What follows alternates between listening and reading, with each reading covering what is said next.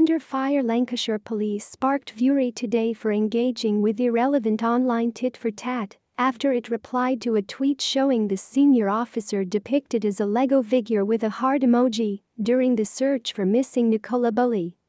Four staff admired the toy lookalike of Detective Superintendent Rebecca Smith, saying we will make sure she sees this alongside a heart emoji. It came less than two days after the senior police officer that was leading the hunt for the missing mother of one criticized social media for distracting the investigation. Sharing a picture of the figurine on Twitter on February 16, as the hunt for the missing mother continued, its creator wrote, I don't know Detective Superintendent Rebecca Smith of Lancashire Police, but I do know she's doing everything in her power to find Nicola Bulley.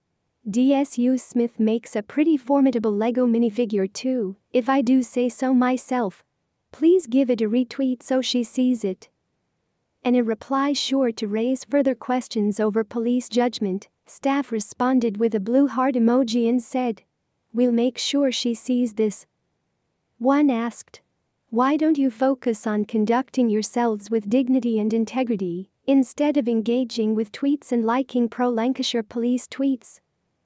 You're turning this case into a farce, now you're engaging with irrelevant tit for tat online, publicly, it's disgusting.